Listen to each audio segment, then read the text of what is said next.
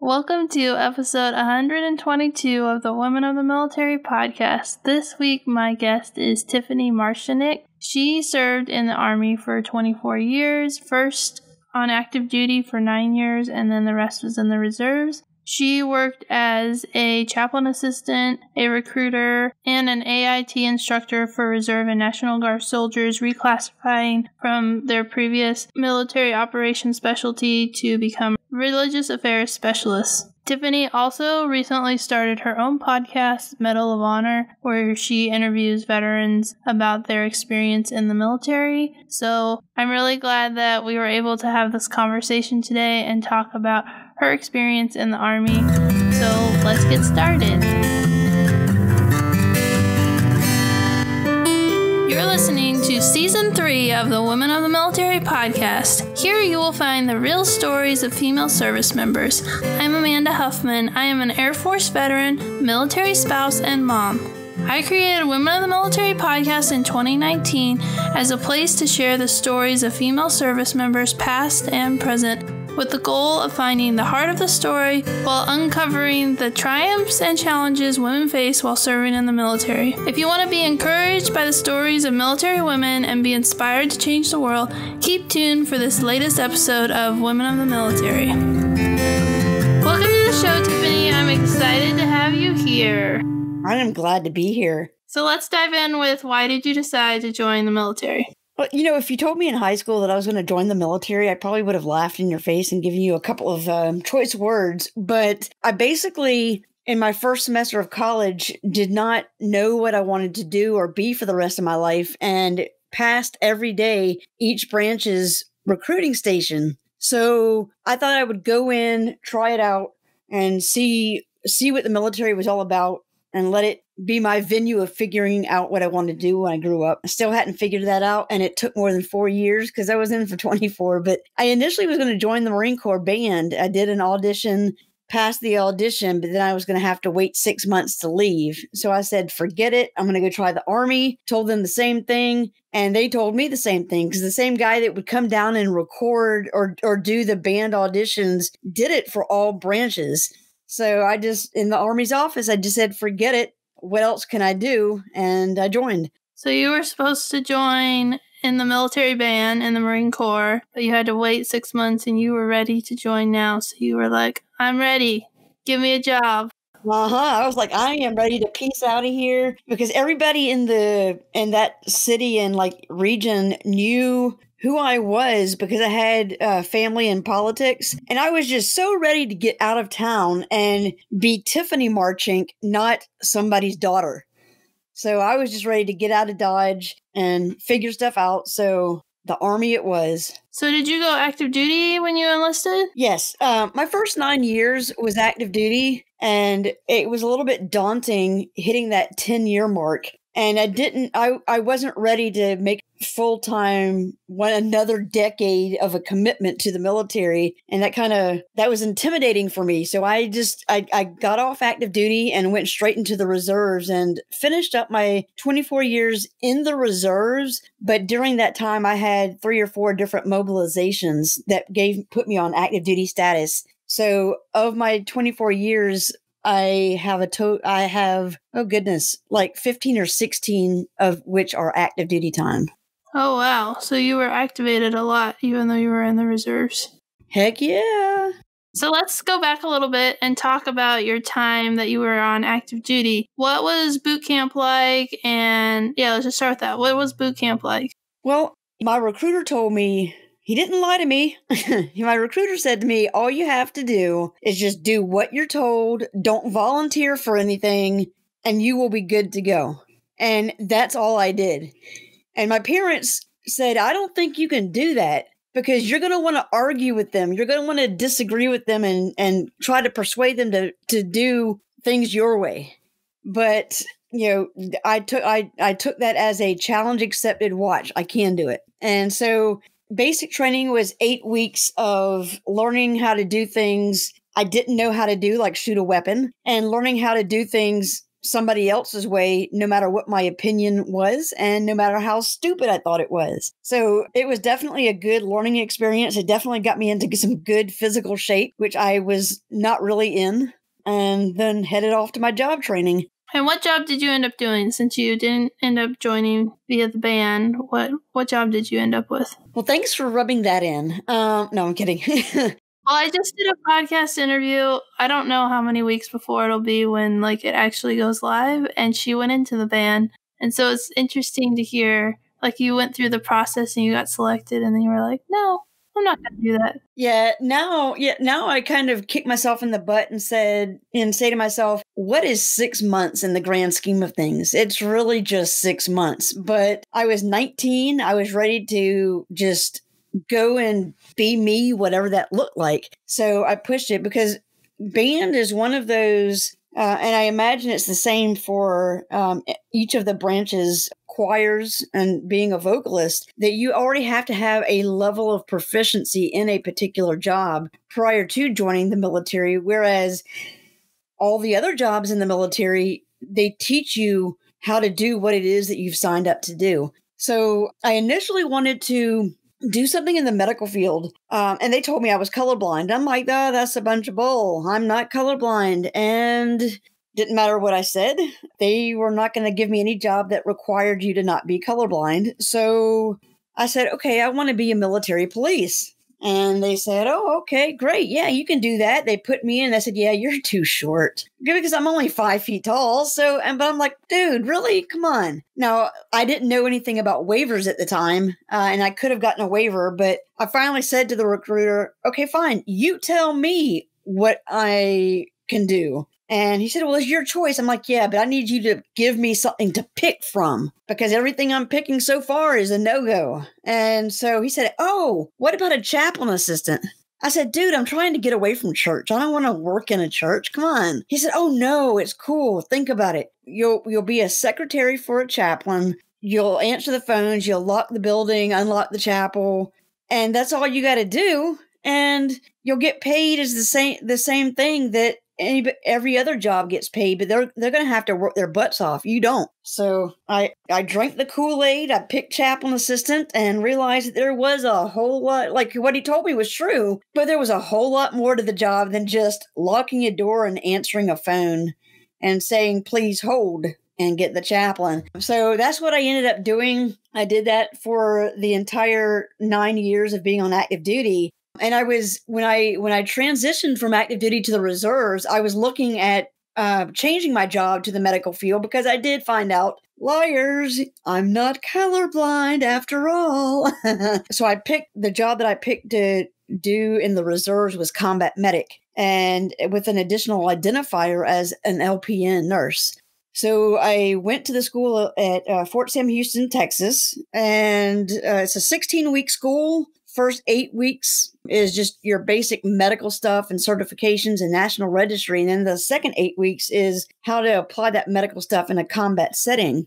And I made it all the way up to the national registry portion, and the national registry uh, exam kicked my butt. And there was not money for me to, you know, do a, a second attempt. So I went right back to being a chaplain assistant. And that's what I continued doing in the reserves. And then I, towards the end of my career, I did, I, I was a recruiter for two years. And I promise I didn't lie to anybody as a recruiter. I just didn't tell them everything necessarily. uh, and after I was a recruiter, my last six years in, I was an AIT instructor. AIT is Advanced Individual Training right after basic. Um, and I taught, I was an instructor for a chaplain assistant. And that's how I kind of finished up. Were there any challenges that you faced while you were in the Army, either on active duty or when you switched into reserves or when you got reactivated? There's a lot of questions in there. Oh, man. Like, three questions for the price of one. yeah, there's definitely there's definitely challenges, um, especially uh, as I alluded to earlier. Being the hard headed individual that I can be many times, that does not really mesh well or gel well in a military environment when you're not the one in charge. So I had to bite my tongue a, a, lot of times, and sometimes I just couldn't help myself and was then put in my place because I was being a bit too vocal. So that was just, but that was a personal challenge. And I, but I think after spending so much time in the military, it did it, it did teach me to step back and listen more so that I could take somebody else's perspective into consideration. Even when I was a leader, uh, even as a leader, it enabled me to, when I had to make decisions about things, I chose to tap into the people who are under me and say, hey, what do you guys think? How do you think we should go about this? Because that way, you know, for the other person who is junior to me who may be more vocal, like I can be, they might, eh, I'm giving them an opportunity to express what they think will work and how it will work, even though ultimately my name was on the line for the responsibility of getting it done. And I was willing to take that chance because I don't know it all. I can't do it all. And it's definitely okay to tap into the knowledge and experience of other people, even those who are junior to you. So that was a, a learning experience of, of listening and tapping into other people's knowledge and experience. Yeah, I think that's really important that we talk that you talk to the people above you and below you and you listen and you're the ultimately the one who has to make the decision, but it's important that you get input from those different people because like you said, you don't know it all, and then you can learn from the people of below you. And I think it really helps the people below you when they have a chance to speak up, and that it's not just like you have to do what I say. It's like, well, I listened to what you said, and then I had to make my decision because ultimately my name's on the line. So yeah, that makes sense. It ended up being even to take that a little bit further. Um, I remember at a particular duty station, you know, being the second senior chaplain assistant um, there, and I, it was one of the times that I was activated, and I was activated stateside, and the person above me was what a lot of times people call a toxic leader in that it's uh, having that attitude of it's my way or the highway. And i found myself in a position of being a buffer between him and the junior chaplain assistants. So with many of those times where i would make a decision and the decision i would make would be my using one of the junior soldiers method of accomplishing it? If it went wrong i made sure i took responsibility for it being wrong. Um, if it was successful, I gave credit to the people below me because they're the one that did the job. And that is many times opposite of what a lot of leaders do. If it goes well, they soak up the the compliments and the accolades, but if it goes wrong, they like to shift the responsibility to somebody else. I did the opposite of that. And it ended up paying off. Even sometimes when I would get chewed out by that senior uh, chaplain assistant, he would say, here's your counseling statement for whatever that issue was that went wrong. He said, now, and he prints out eight more of them that has the same counseling information on there except for the individual's name. He said, "You will go and counsel because he he realized what I did that I would that I was in the habit of taking responsibility for the bad stuff. He said, "So you will take these counseling statements and you will go and counsel your eight soldiers. And I will have this on my desk signed by each of them by the end of the day. So obviously, I can't disobey a direct order, and I also don't want to change my method of doing things. So I called one of those chaplain assistants and said, Meet me in 30 minutes at this location and let the other guys know too. We all met at that location, and I sat down with them and I said, Okay, what was the task that we were supposed to accomplish? Did we accomplish it? What did we do good? And what do we need to work on in the future so that it doesn't fail like it did this time? And after we had that discussion, I said, Great, consider yourselves counseled. Please sign this counseling statement and get it back to me because I need to turn them in today. And that way it was a, I, I accomplished what doing things the way I would do and making it a discussion instead of chewing you out because I was challenging them to think and think. So when you become a leader, know that you're going to be addressed, uh, uh, confronted with these type things. And it, it just challenged them to think like a leader. Um, and, and I also did what I was told and counseled these soldiers. Yeah, you took something that could have been really negative and made it a growing and learning experience for people under you, which I think it's one of the benefits of being a woman is that women are kind of more geared that way. I think we're more humble, I guess I should say, and willing to give credit where it's due. Just something that I've noticed is a continual theme from listening to all the different women that I've gotten a chance to talk to. Yeah, it is important to be able to look at look at the bigger picture and not just through a, a small single lens or scope of things, but to look at look at the big picture and the lasting impacts of what I say and how I say it to you is going to leave an impression on you. So I need to make sure that when I deliver a message to you, no matter how positive and happy or negative and down it can be, to make it still an, uh, and ultimately a learning experience and positive learning experience at that. Yeah. And I'm really curious to hear more about when you went into the reserves because you had done nine years, almost 10 years active duty, and then you decided to do the reserves because you, you wanted a little bit of a break, but then you got activated all the time. So what time frame was it when you made that switch? I know it was like 10 years into your career, but what year was it? So I was on active duty from February of 95 to April of 2004. So it was in 2004 that I had transitioned to the reserves. And even that within itself while even though I was still in the army, that was a, a, transitioning experience that I did not expect to be as starkly different as it was. I was wearing the exact same uniform that I wore on active duty, but it was a culture shock in a sense because while I was doing the army and doing military stuff 24 7, in the reserves, you're doing it 16 hours a month. And so the way the individuals within the reserves approach things are starkly different because they have their own full time careers that they are doing outside of the uniform. So when I would hear people address each other by first name, it blew my mind. I thought, no, your uniform does not say, hey, Tom. It says Smith. so why are you calling this guy Tom when he, when he is Specialist or Sergeant Smith. Oh, it's just how we do it here. And that's one of those excuses or responses that I just, I cannot stand of. It's just the way we've always done it. No, be a change maker. but, you know, I'm glad I went into the reserves instead of just completely disconnecting from the military because it kept my foot in the door. And that was kind of my intent that I was not ready to make a career out of the military, but joining the reserves enabled me to you know keep that option open. And after i had uh, mobilized and been activated a couple times i then realized okay i'm in it for the long haul. And i remember always saying 20 years in like two months because uncle sam some way or another would find a way to take those two months from me and say oh you don't legitimately have that 20 year mark to be able to retire. But you ended up staying in 24 right yeah, because I lost count or something.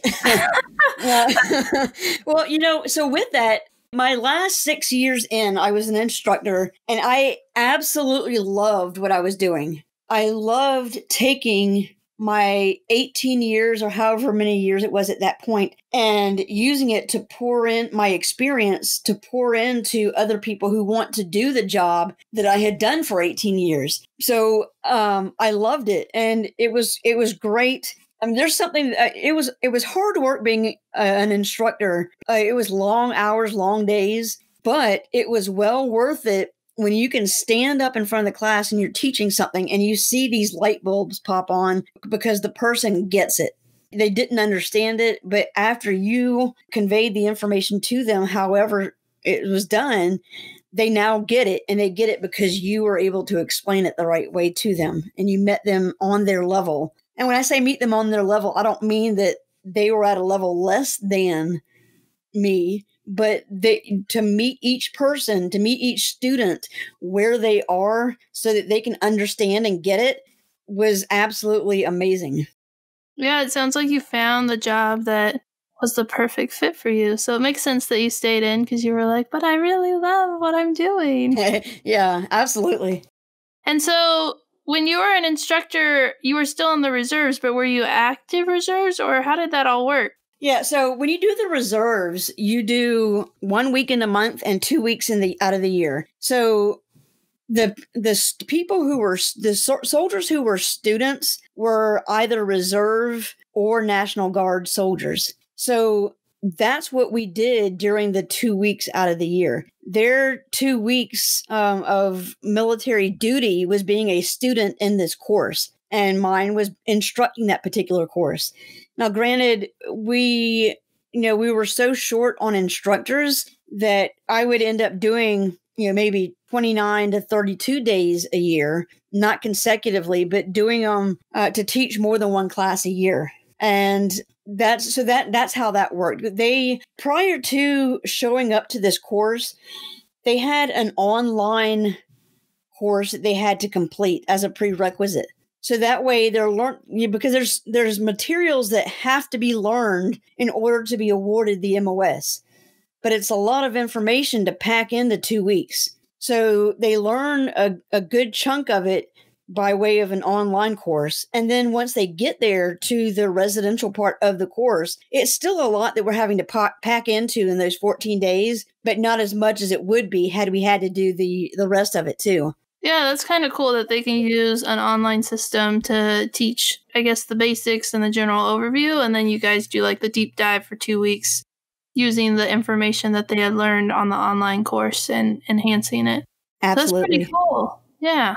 Do you want to talk about anything else from your time on active duty or in the reserves? Yeah, maybe I can jump back to a, another question that you had already asked about any obstacles or struggles that um, I was confronted with. A more serious issue that I had to be confronted with than me just learning how to listen more and talk less. And, and that was a, an MST, and a military sexual trauma.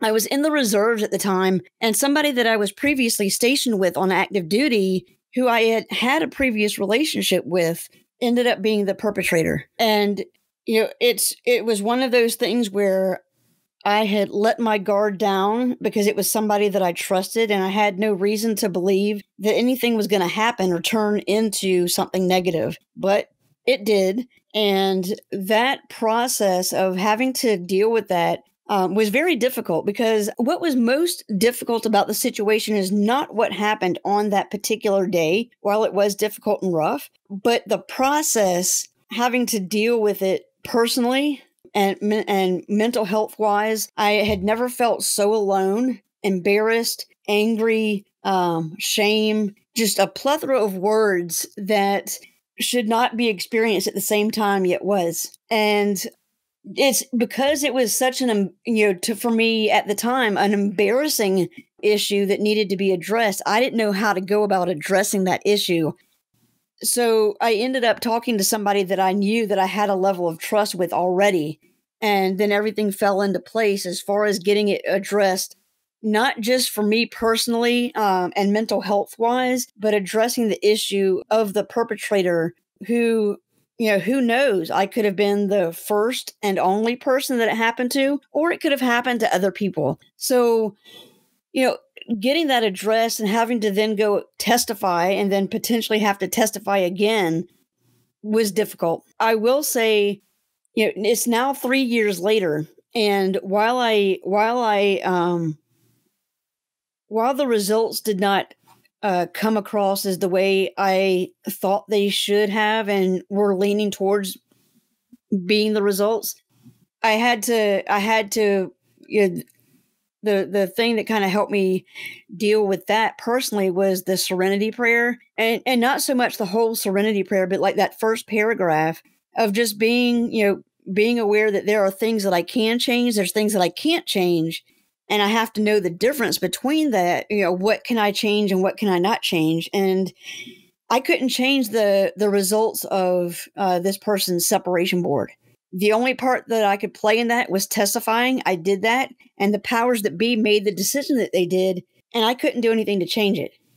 I, so I had to make sure I shifted my focus on making sure that this guy was found guilty and suffered the consequences for it I had to shift my my focus from that to Tiffany, you need to heal and you need to move forward in life. So I did uh, go through some cognitive behavioral therapy, which which is talk therapy and didn't do me any good. But I ended up being paired with the right psychologist and did cognitive processing therapy. And then when I first uh, sat down with her, she said to me, Now, look, you need to understand that while this is an effective means, most people do not complete this. Most people do not finish this counseling because it forces you to do the opposite of what your is second nature to do, and that is to talk about it and address it.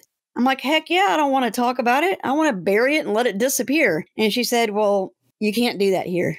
So having going through that counseling, it forced me to see see things um, and address things in a way uh, and, look at things from a different. It, it, it, it, enabled me to see where my hangups were as far as my thought process is concerned, and to address that, and then move forward and say, okay, this really isn't my fault because I took the blame of what happened as being my fault, and that it's because of me that it happened.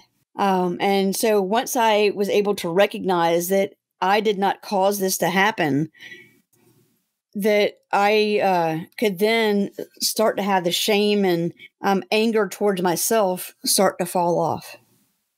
Yeah, I think it's really good that you talked about all those things because unfortunately I've heard a lot of MST stories either through the doing this podcast or just being involved in the women veteran arena and that shame of like it was my fault i should have done something different and that's a common theme that women talk about and like how hard it is to rewire your brain process and to forgive yourself even though like it's not your fault but you're it's just i i think it's so important that you talk about that shame and that guilt and all the emotions i liked how you said like all these emotions. I felt all these emotions at the same time, and you shouldn't feel all these emotions at the same time. And you also said the event was traumatic, obviously, but it was like the after effect that like was the hardest part to deal with because the event caused all the emotions after, and if you don't have a path forward on how to deal with the emotions, you can just get stuck and like you said, bury it. Yeah. And I, I think in the military, that's a big thing of moving when you move forward and stuff and when you accomplish things especially you know i know especially in the army and the marine corps i'm not sure about the navy and the air force as far as the mindset with this but when you become a sergeant when you become an nco you are expected to make things happen. You're the one that makes it happen. And you sharing and showing emotions is not part of the task. It, and, and that's the way things are looked at is accomplishing tasks and when things happen or, or when things go south, as far as accomplishing a task, it's up to you to overcome that obstacle. So having that mindset kind of ingrained in you of I'm an NCO and nothing will shake me. And if something happens and it comes my way, it's my job to, you know, to make it not happen. So when you have an MST happen, it, it's hard to not have that thought process of I'm an NCO and I must have done something wrong to allow this to happen to me or to cause this to happen to me. So that's that was that was my biggest hangup when I went through counseling. It you know, and I, I remember joking around with the psychologist after the fact, but I said, Man, you had to spend more time convincing me that it was not my fault because I could not shake that. I could not shake the fact that I had I did not play a part in it, or at least for causing it to happen. And, and with that too, it took three years to get a final decision on the result of that. And that was difficult for me because there was black and white written evidence um, of communication between myself and the perpetrator of me recounting to him what happened and him saying, Yes, I was wrong for that. So for me, with having that written in black and white, I just could not fathom why it took three years for a decision to be made on that. And actually, the first the first time when I actually testified, it was a year and a half later, and I thought that was too long. And when, but when uh, at the end of the day, when that when that was over, they found him guilty of two of the three charges. So I thought, great, I'm now done with it. Only to find out at the beginning of this year in 2020 they somehow or another decided to retry him without my being there. And they just used my testimony from that first uh, hearing. And he is now continuing to serve in the Army as a senior leader as if nothing happened. Yeah. So I heard I I listened to the spouse Engel and I'll list link to it in the show notes. It was a really powerful episode where she talked to a colonel, well, retired colonel from the Air Force who was a judge, and he now works to help get the law changed, and he's a big part of the I Am Vanessa Guillen movement. And your story it's explained like why the military can do what they do because of the way the laws are written and why the laws need to be changed. And if you are listening and you're like, how did that happen? You really need to go listen to that episode. I'll link to it in the show notes because that was the most powerful explanation. And it was really powerful listening to an Air Force judge who got out of the Air Force because of something that really negatively happened to a, a sexual assault I think it was a rape case where the person was tried, convicted, and then the general overturned the verdict at the last minute. And how there's so many problems, and there's a reason that the laws need to be changed, and why there needs to be more lobbying on Capitol Hill to pressure Congress because the system is broken. And your story is an exact story of the system is broken. You even yeah. got that conviction, and then they were like, oh, let's retry it. And yeah, that makes me sad. And with that, with with mine, uh, and, and, just to just as a point of clarification, um, mine they did not court martial him, so he did not have to appear before a judge, and that wasn't my decision. Yeah, Jag did. I did sit down with Jag several times, and they said, Hey, we can pursue a court martial or an administrative separation board. What do you want to see happen? I'm like, Really? Because my mind was just so jumbled with emotions and thoughts and just trying to figure out on my own. I'm like, Dude, I just came here. You're the legal folks. I told you my side of it. You you figure out what to do next. I'm not in a in a place mentally to be able to make a good sound judgment. And they said, okay, well, then why are you talking with us today? I said, because one, because you asked me to. And two, the reason why I said yes is because somebody did something to me. It was not wanted, it was not solicited, it was not welcomed, yet it happened. So it's not okay. You know, it's not okay for somebody to do something to you that has such a negative impact on you. I'm having to spend my time trying to heal and recover while he's doing what? Serving his doing his job. And so he explained to me later on that there's it's it's ultimately up to he was stationed he's an army soldier but was stationed at an air force base and had a a one star commander. And so it was really up to that one star as to what method they were or what venue they were going to go down. And so they went down, and you'll love this part too. Not really. that, you know, the one star that was his commander uh, had said, you know, well, if you do a court martial, one, it can never be tried again because a court martial is a legal hearing, it's a legal process. Whereas an administrative separation board says, is the Army saying, we don't want you in our ranks because of this event that happened, but there's no legal ramifications. So that administrative separation board is where they found him guilty of two of the three charges. And my opinion is that because he knew he was guilty of it, he had already started a med board process for PTSD.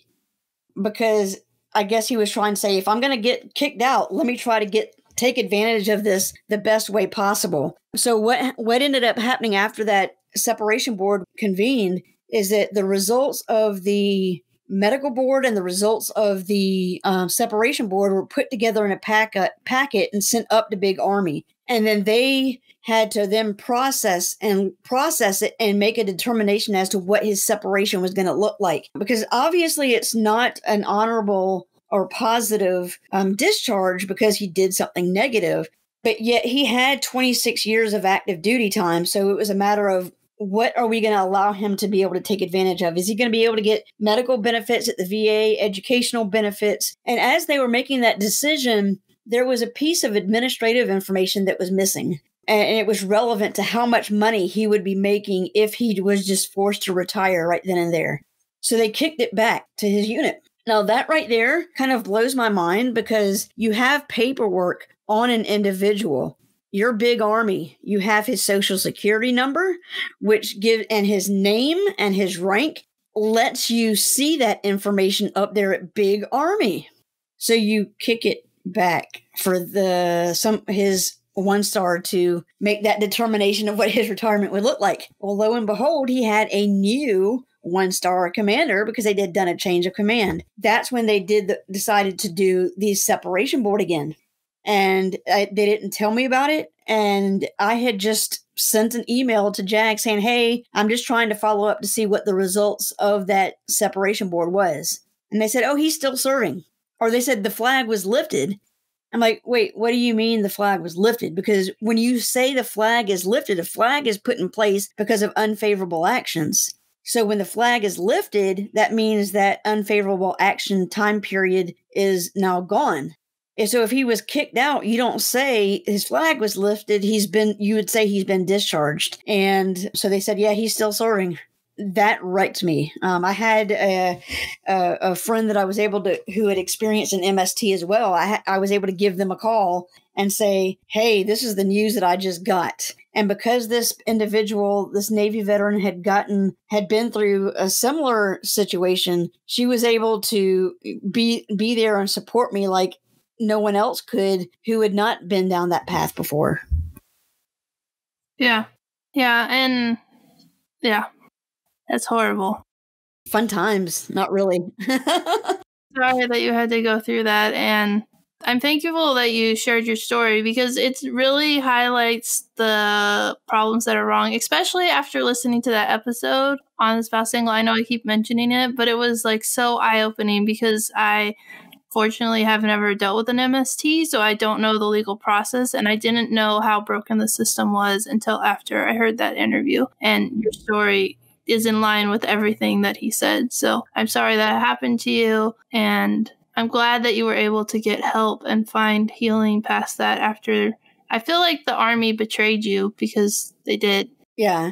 Yeah, because and, and that's that's one of the things too that I think was a big part of what rocked my world is that we are taught in the army army values. And with each of those values, not one of them alludes to alludes to an MST being an okay part of the military culture. They all speak contrary to that. So, you know, you want me to have and exercise these army values, except when something happens to me, then it's okay.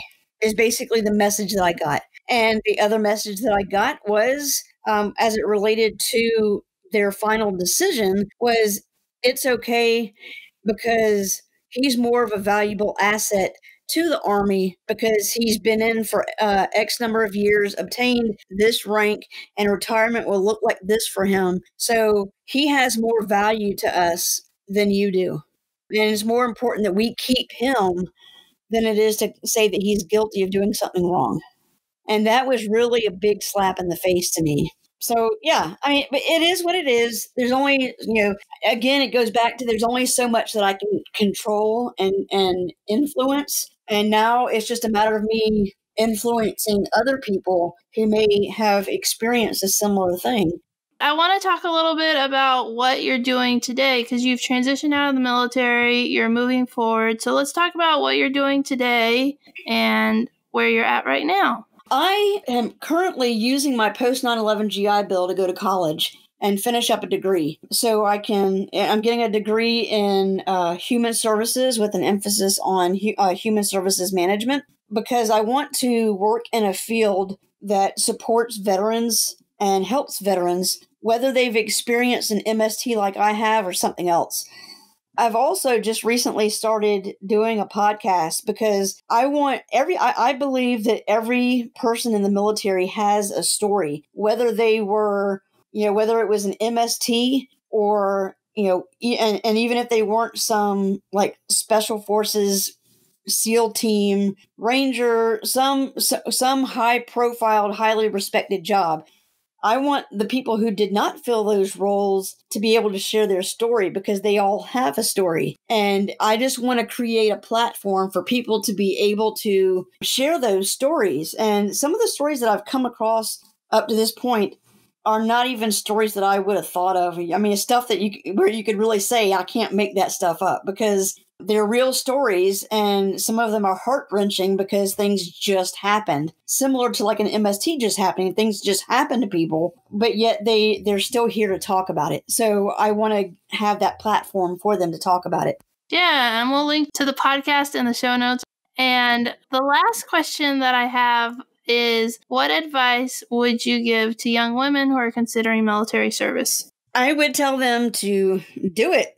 Uh, you, you never know until you try it. And I would tell all young women who are looking at joining the military, I would not try to sway you to do a certain job or join a certain branch because at the end of the day, it's all the U.S. military. So I would challenge, I would challenge them to do their research to find the branch and the job that fits what their desires and goals are because their needs can be met in all of the branches. And it's again it's all the US military. So um, I would tell them to you do the research and then pursue it. And once they get in I would just challenge them to to go full force and, and make the best of themselves that they can while they're serving and take advantage of every opportunity that comes their way.